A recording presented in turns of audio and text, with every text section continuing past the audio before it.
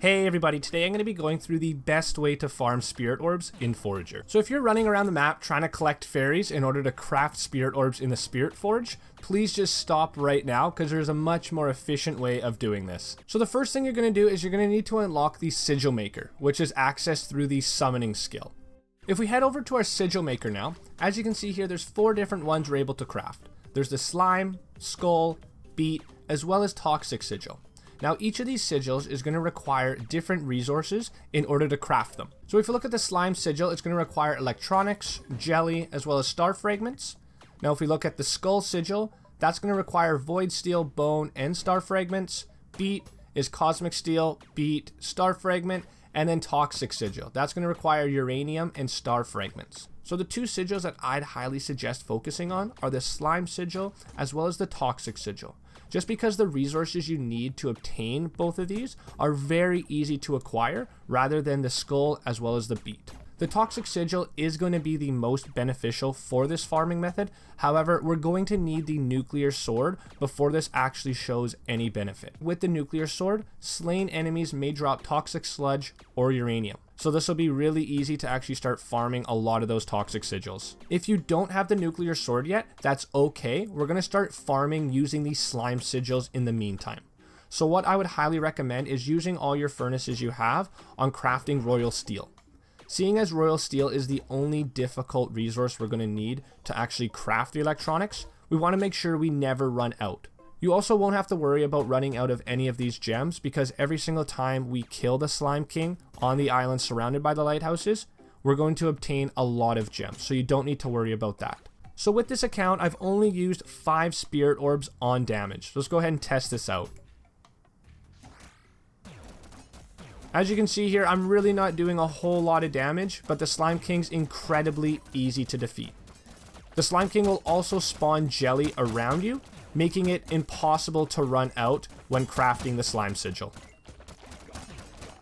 When you defeat the Slime King, as you'll see here, four small boxes will drop, each box containing a Spirit Orb.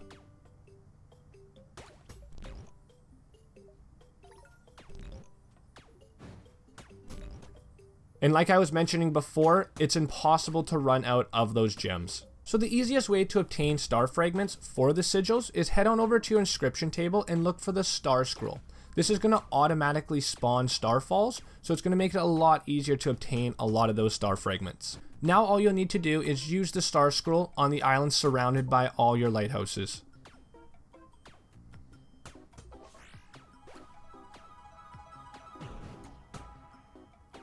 And as you can see there, we do get a lot. Make sure that every time you do defeat the Slime King or any other boss, that you do use the Spirit Orbs on damage right away.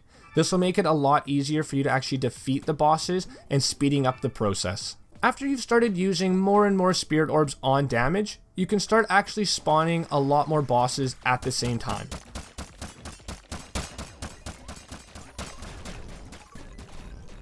So as you can see here, I think I just defeated 7 Slime Kings in less than 7 seconds which is why I'd also suggest having a droid, because as you can see here, they will open all those chests for you, making it go a lot faster.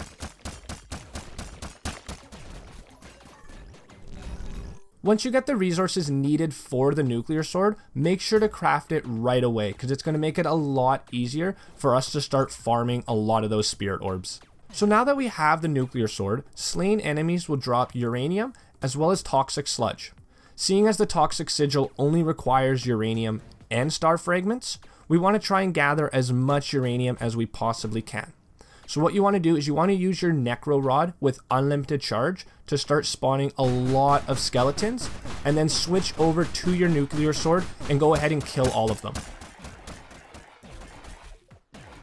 If you go ahead and just keep repeating this cycle, you'll gather a lot of uranium really quickly. So from here, you can basically just keep repeating the steps as shown in the video to start crafting a lot of those sigils in order to gain a lot of spirit orbs. So I hope this video was helpful for you guys. If it was, please be sure to hit that subscribe button down below to see more content just like this one.